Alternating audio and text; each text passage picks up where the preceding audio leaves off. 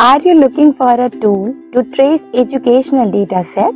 If yes, you are on right track. I am introducing Interactive Stratified Attribute Tracking System. This is the interface of iSAT. iSAT assists learning analytics and academic decision making by enabling the visualization of transition pattern in educational data set. So, iSAT can be useful for researcher and for the instructor. You can see here how researchers have used iSAT to explicate pattern in their data and interpret it from the perspective of their research context. On the other hand, the instructor can use to understand the dynamic of class of student and their activities from the data collected in their own teaching learning context. Now come to the structure part of the iSAT.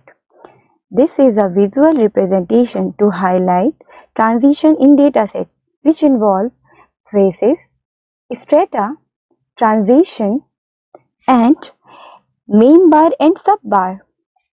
From here, we go deeper into the section of analyzing the data. After knowing about iSAT, let's do our hands dirty with iSAT.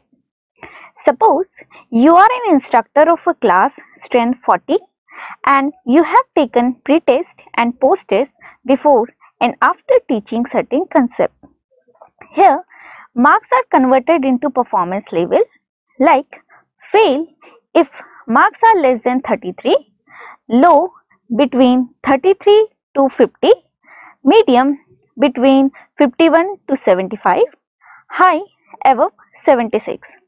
Now you want to see how many students who failed in pre-test and perform better in post-test.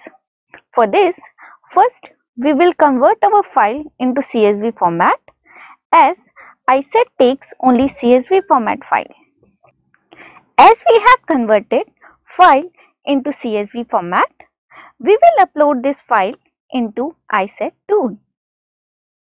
After uploading file, this type of pattern will show up. Here, two attributes that is pretest and posttest are considered as phases and represented by columns. These four are stratums indicate a group within a phase and represented by different colors. Transition are linked that traces the migration of the group across the phases. Basically, iSAT has two modes. First, overview mode. This is how overview mode look like and show the total transition. To answer our question, we will move to second mode that is exploration mode.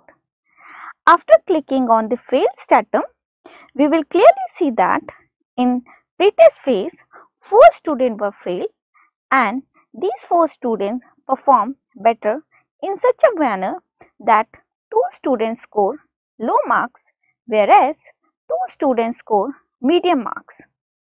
Thank you.